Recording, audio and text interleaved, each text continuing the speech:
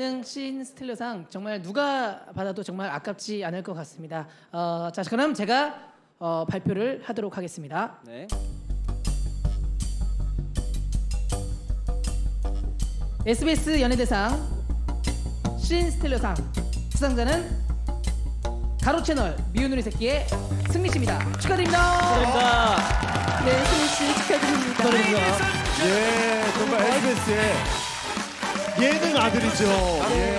오늘 멋진 무대를 선사해 주셨고요. 네. 승리 씨가 예, 네. 멋진 이브 오프닝을 또 꽃다발이 오고 있거든요. 예, 받아주시고 예. 다시 한번 축하드립니다. 네.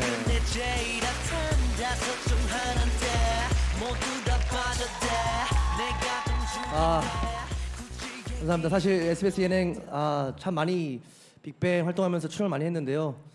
강심장 때도 아, 첫회 때 불러놓고 버리시고 예, 항상 파일럿 할 때만 쓰시고 버리시더니 아, 이번에 처음으로 고정하면서 이렇게 아, 상도 받게 된 것 같습니다. 일단 사실은 빅뱅 멤버 형들이 지금 군, 군생활 하고 있는데 아 빅뱅의 공백을 느끼지 못하게끔 제가 이제 대신해서 좀 열심히 활동하고자 했던 것들이 아 많은 분들이 예쁘게 봐주신 것 같습니다. 감사드리고요. 아 참 아, 부끄럽습니다. 아, 정말 그 훌륭하신 예능 선배님들 앞에서 상 받는 게 부끄럽고요. 아 그리고 제가 지금 강호동 형과 함께 어, 방송을 하고 있습니다. 호동 형이 저에게 승린이는 빅뱅인데 예능까지 해도 안 해도 되나? 진짜 않나? 예능까지 할 필요 없잖아 하셨는데 저 예능 하고 싶습니다. 예.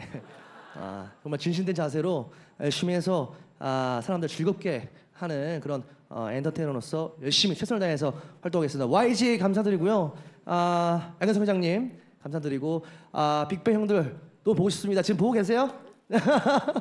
네, 형 동생이 형 막내가 이렇게 열심히 해서 상까지 받았습니다. 빅뱅 forever 빅뱅 컴백을 기다려주시기 바라겠습니다. 감사합니다. VIP 감사드리고요.